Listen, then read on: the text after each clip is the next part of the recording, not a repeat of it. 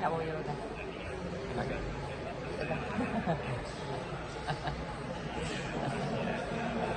¿Eh?